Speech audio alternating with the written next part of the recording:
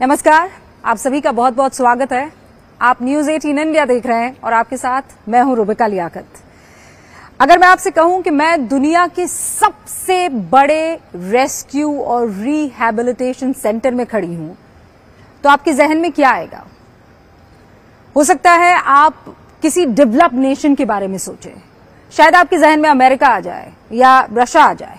लेकिन अगर मैं आपसे कहूँ कि मैं हिंदुस्तान की बात कर रही हूँ, जहाँ पर दुनिया का सबसे बड़ा रेस्क्यू सेंटर है, शेल्टर है, नाम है उसका वन तारा। और उस वन तारा के दिल में धड़कता है वो दिमाग, वो चेहरा जो आज हर किसी के जहन में समाया हुआ है।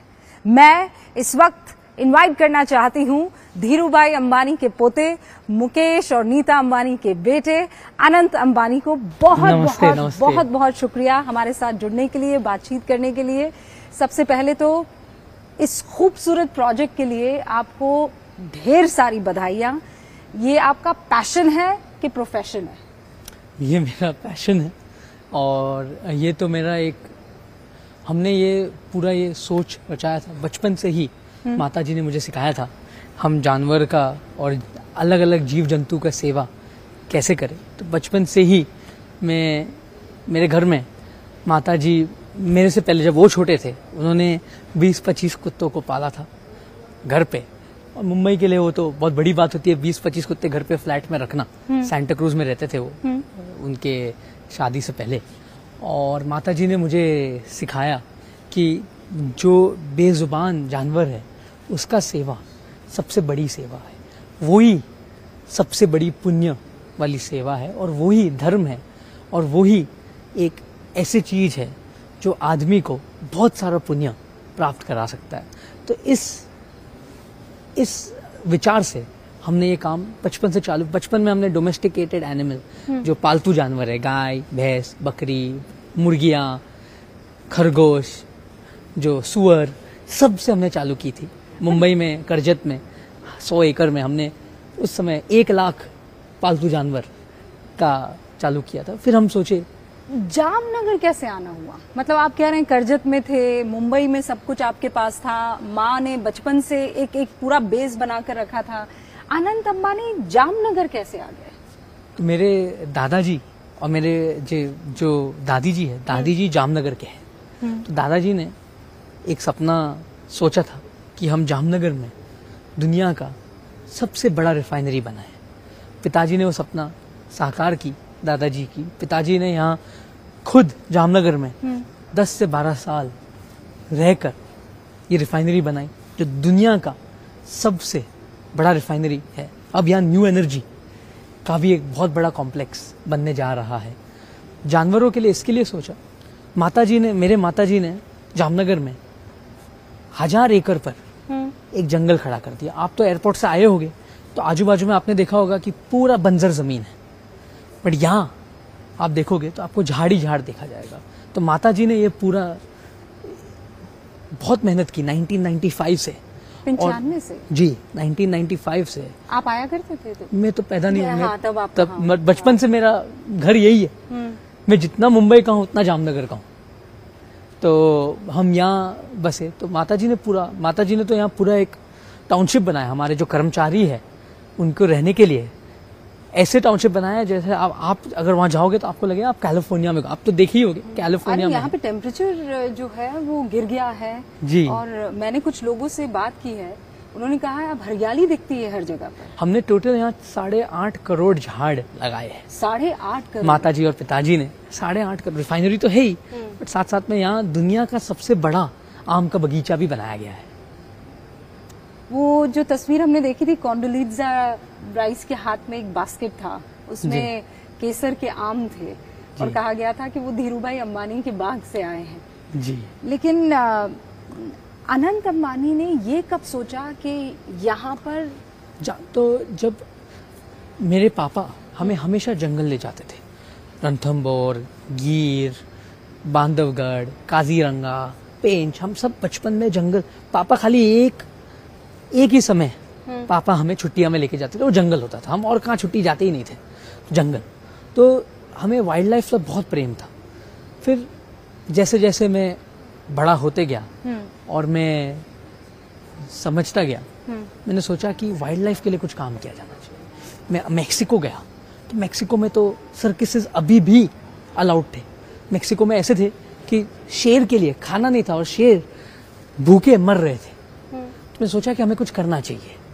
भारत में रोड एक्सीडेंट से तेंदुआ गिर जाता है। रोड एक्सीडेंट से कभी कभी टाइगर जो बाघ है उसको चोट पहुँच जाती है। हम्म।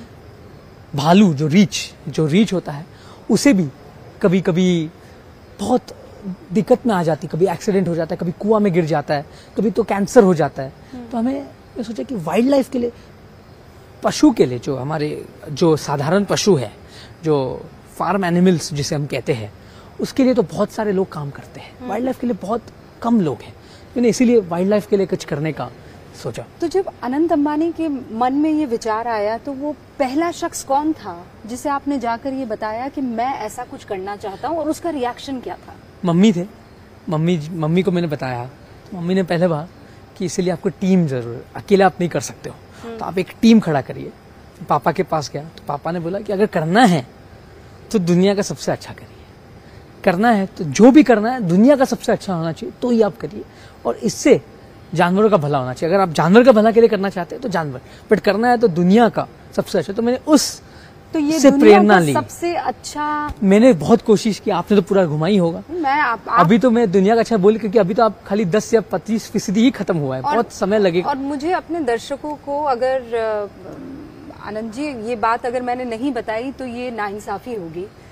पिछले सात घंटे से अनंत अंबानी हमारे साथ है। हम पूरे इलाके में घूम रहे हैं। इनफैक्ट अभी तो हमने आनंद जी खुद बता रहे हैं कि 40 परसेंट ही घूमा है। कितना बड़ा ये इलाका है।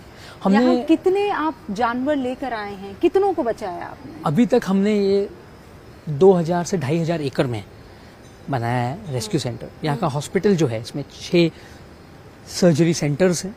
इन पेशेंट वार्ड है आउट पेशेंट वार्ड है। एमआरआई मशीन है, जो मेरे हिसाब से इंडिया में एक ही है। सीटी स्कैन है जानवरों के लिए। रोबोटिक सर्जरी मशीन्स है। लैब है, जिसमें सौ से ज़्यादा वैज्ञानिक काम करते हैं।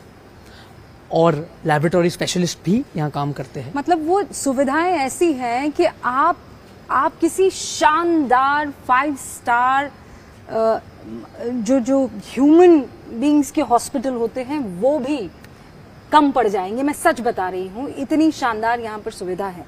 लेकिन अ, कितने जंगली जानवरों को आपने रेस्क्यू किया है? अब तक हमने यहाँ पच्चीस हज़ार से ज़्यादा जंगली जानवरों को रेस्क्यू किया गया है और हमें बहुत सारे जानवरों का ध्यान भी रखा गया है। हम यहाँ से टीम्स पूरे भारत में सब जगह भिजवाए जूज में भिजवाए फॉरेस्ट डिपार्टमेंट का बहुत सारे अलग अलग फॉरेस्ट डिपार्टमेंट का हमने मदद की उन्होंने भी हमें बहुत सपोर्ट किया।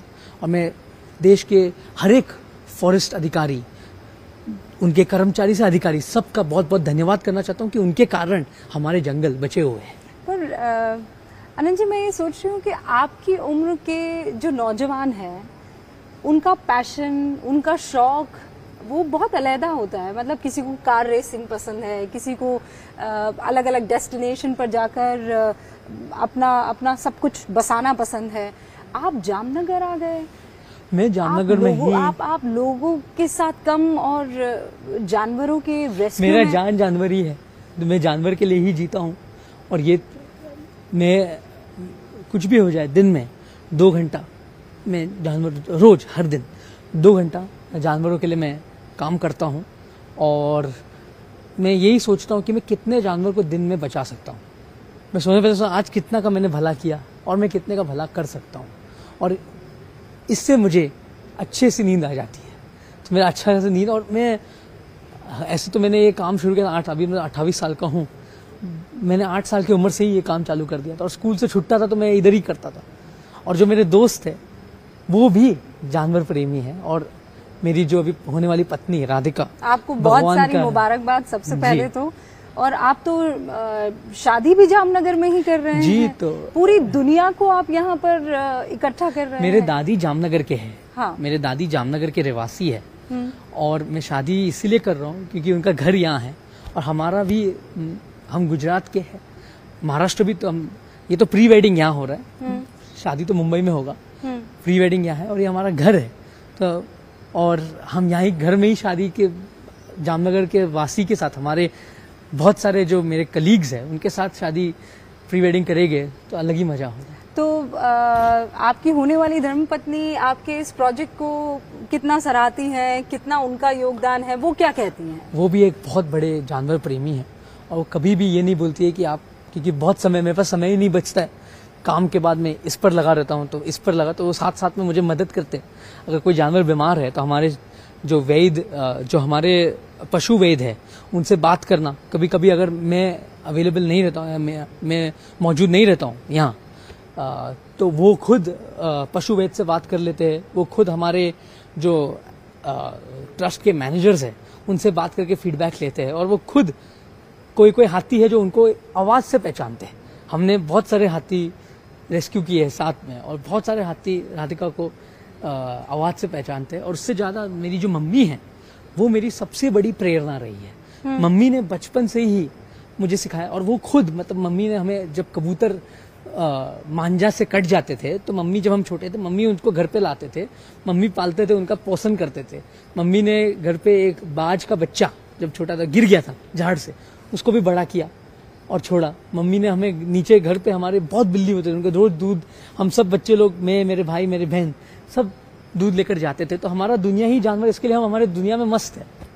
इसलिए हमें और कुछ करने का ज़रूरत नहीं है, और काम तो काम होता रहेगा, दुनिया चलती रहेगी बट जानवर के लिए हम, ये एक, हमें प्रेरणा मिलती है, सब मम्मी से और सबसे कि हम जानवर के और काम करें, ये तो आपको मैं अभी भी बोला, जो आप देखा, ये तो खाली एक छोटी सी झांकी है। मतलब एक तो हमने आपने जो गजराज और देखिए साक्षात गणेश जी जो है उनकी मूर्ति आपने यहाँ पर स्थापित की हुई है। सैकड़ों हाथी जो है आपने रेस्क्यू किए हैं। आप अलग अलग इलाकों से रेस्क्यू करके वाइल्ड कैट्स को भी लेकर आए हैं। इनफैक्ट प्रधानमंत्री नरेंद्र मोदी का भी प्रोजेक्ट टाइगर को ले लीजिए जो कीनिया से तेंदुए लाए गए थे उनको चीता, ले लिए चीता, चीता लाए हाँ, थे। चीता लाए गए थे उनको प्रधानमंत्री तो हम सबके लिए बहुत बड़ा एक प्रेरणा है। प्रधानमंत्री ने जो भारत के लिए किया है और जो वाइल्ड लाइफ के विषय में किया है, मैं मानता हूँ कि उन्होंने एक बहुत बड़ी काम किया है कि चीता प्रोजेक्ट को सफल किया। प्रोजेक्ट लायन जो गिर में है, जो एकदम दुर्लभ है, उनके कारण सफल उन्होंने ये प्रोजेक्ट आगे बढ़ाया था। और हम सब उनसे प्रेरणा लेते हैं। अगर हम उनका पॉइंट फाइव परसेंट भी जानवर के लिए करें, हमारे लिए बहुत बड़ी बात है। वो तो बहुत बड़ी सोच रखते हैं, कर सकते हैं। हम भी जितना हमारे से होता है हम जानवर के लिए करते हैं। और उनका जो उनका जो उनसे जो प्रेरणा मिलती है वो कुछ अलग ही महसूस होता है। एक अलग ही पावर आ जाता है कि हम और कुछ करें। जब भी हम उनको टीवी पे सुनते कि प्रोजेक्ट लाइन है जब वो चीता आए तो बहुत खुशी हुई तब आपने रिलेट किया था इस बात से? क्योंकि बिल्कुल ये तो हमारा एक सपना साकार हुआ। हमारे चीते जो भारत से चले गए थे जो भारत से एकदम एक्सटिंक्ट हो गए थे उनको वापस लाना बहुत बड़ी बात है। तो ये जो उन्होंने किया ये एक बहुत काबिल तारीफ़ काबिल तारीफ़ बात अब अनंत अंबानी का पैशन पूरे देश को समझ में आ गया है। लेकिन इस पैशन को क्या और आप पर देंगे? और इसका कोई मुकाम है? या जामनगर तक ये सीमित रहे तो हम जामनगर में एक ऐसे केंद्र बनाना चाहते हैं कि हम कैपेसिटी बिल्डिंग यहाँ से करें। हम्म। हम यहाँ से जितने भी हमारे वेद, जो पशु वेद है, उनको हम पूरे भारत में भेजें यहाँ सिखाकर कि भारत में ऐसे हमारा ये मकसद रहेगा कि एक भी इंडेंजर्ड जानवर बीमारी से ना मरे कैप्टिविटी में। और जितना हो सके उतना हम दूसरे को मदद करें कैपेसिटी बिल्डिंग करें। भारत में डेढ़ सौ से ज़्यादा चिड़ियाघर है।